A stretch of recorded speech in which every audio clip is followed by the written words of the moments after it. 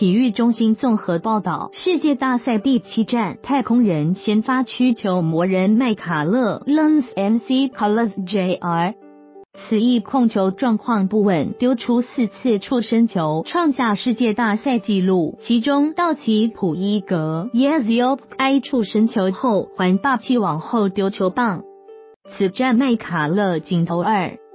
一局耗费四十九颗球，被敲三安五十分，投出多达四次保送，其中道奇透纳 Justin Turner 一人就挨了两次，赫南德兹 Enrique Hernandez 普伊格各被丢了一次触身球，麦卡勒也遭全场球迷施暴。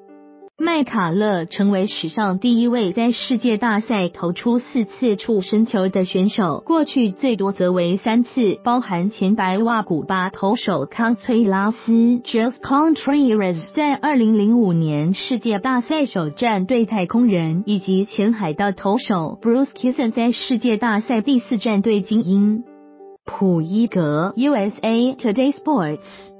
痛纳一人挨了两次球稳，法新社。麦卡勒法新社。